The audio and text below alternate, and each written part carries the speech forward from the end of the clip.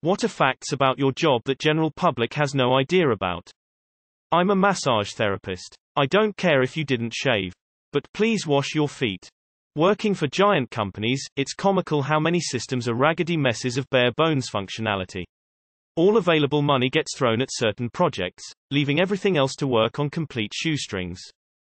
Ex-security guard here. We're not there to protect you. We're there to observe and report. Don't assume that just because whatever building you're working in has security that you're safe. Especially if security is of the unarmed variety.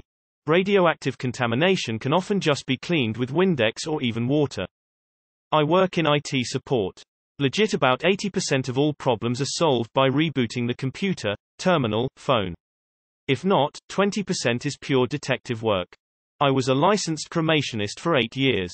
Regardless how hard we tried, that wasn't just grandma or grandpa in the urn. Anesthetics We only ask about your illicit drug use so we don't kill you when we give you a general anesthetic and that you have appropriate pain relief. You'll have a tolerance that we need to counter by giving you a variety of drugs and more of them. No judgment from us on your choices just want to actually take care of your properly. I currently work the line at a recycling facility. Y'all motherfuckers throw a lot of shit away when it could have been given to a charity. The bags of cement are not filled by a robot. A person handles every bag. I can fill 2,500 bags in an 8-hour shift. Chef here. 80% of us are alcoholics or addicts. I work for a department that does tolls by mail. A robot may take your picture, but a live human ends up processing it. We can see inside your car and we can see you giving roadhead, even in the dark tunnels. I work at a large biotech pharmaceutical manufacturing company.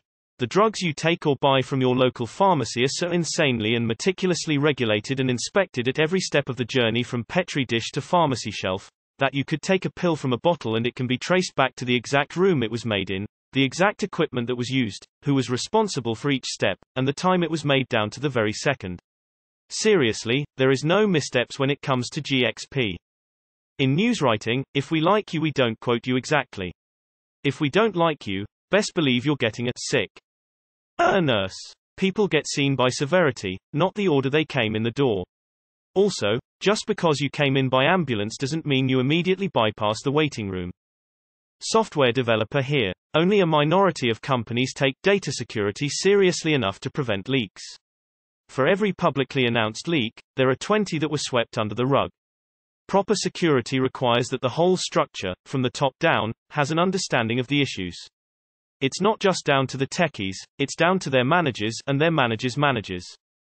Structural engineer. We take materials we do not entirely understand, form them into shapes we cannot precisely analyze to resist forces we cannot truly assess in such a way that the public at large has no idea of the extent of our ignorance.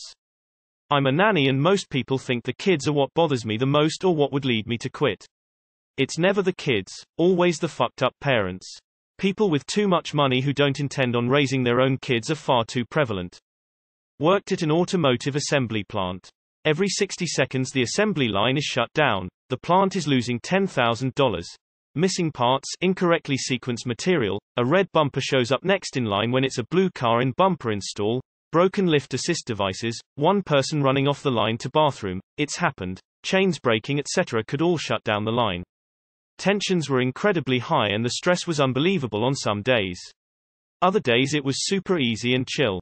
Good pay. High school degree is the only mandatory requirement to be a supervisor. And with the mandatory OT, usually you work 5-6 days, 10-12 hour shifts, you're making at least 100k. Crisis hotline. Sometimes we get really disturbing prank calls. I always encourage people to call back if they are ever in crisis. A lot of times, they, the prank callers, do. I'm the spray tech at a golf course. We use green dye on our putting greens. The grass at Augusta National is sprayed green as well. Any grass you see on camera has been sprayed green.